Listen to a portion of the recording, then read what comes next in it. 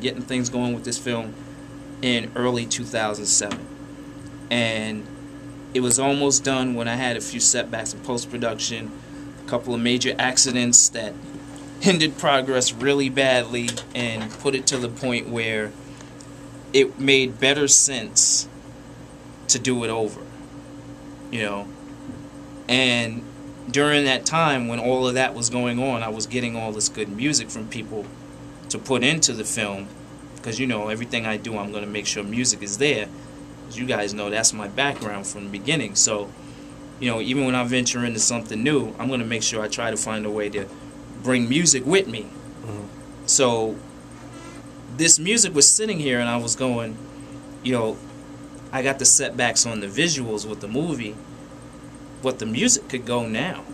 I mean, I can't think of anyone that's put out an, an, an originally scored, you know, album, you know, with original music dedicated purely to sneakers.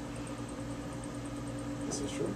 You know, so I felt like I didn't think the artist that gave me all this good music needed to kind of be shelved in a way a label would shelve music for no apparent reason.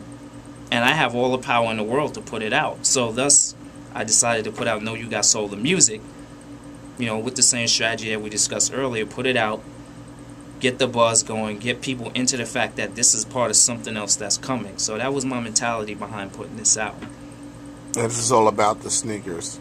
Every song on here, all 10 songs, you know, get linked to sneakers in some way, shape, or form. Now, what is what is this, the special relationship you have with sneakers? It's that's been my thing for over 24 years. Always been into kicks. So the, know, even before I was able to buy them on my own. So that would, they would call that obsessive.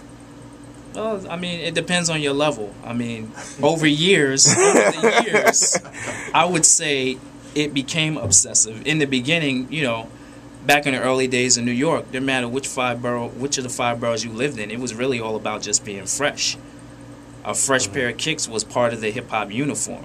There was none of this foolishness that people do now, where they dress from their feet up. Sometimes, you know, where they'll buy a pair of shoes just because everyone's talking about them and then they got nothing in the house to wear with them, so now they got to go shopping for the rest of the outfit just to justify the purchase of the sneakers. That's or wear, stupid to or me. wear with clothes that make no sense. Yeah, or wear, wear a whole bunch of stuff that you know they know they they or they think works for them.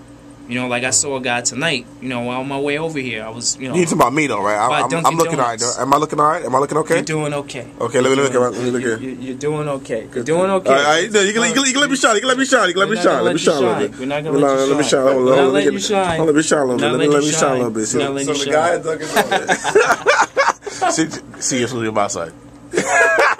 That's I tell you, Deion Sanders. He hates Deion Sanders. I do not. so the guy at Dunkin' Donuts. Guy at Dunkin' Donuts had on a pair of copper colored shoes, copper Foamposites. a new shoe that just came out. Copper colored shoes. Copper colored. They called penny foam Foamposites. Copper colored. New color came out. Nice. Nice He was wearing a teal coat with some off-colored jeans, and I was like, okay, I guess for the sake of just saying that you got the shoes, he wanted the shoes, but.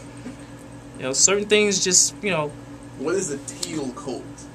It was some kind of yeah, some like like it, it was it was some kind of North green? Face coat. It was looking kind of crazy, but I mean, you know, to be obsessive, you know, and to be stupid are really two different things. you know, I, I say that to make that point. I mean, there was a time when you reach a level where everything that comes out you want it sure, there was a time, there was a nice period where, you know, everybody was making good shoes. Reebok, Adidas, Puma, everybody was making good shoes.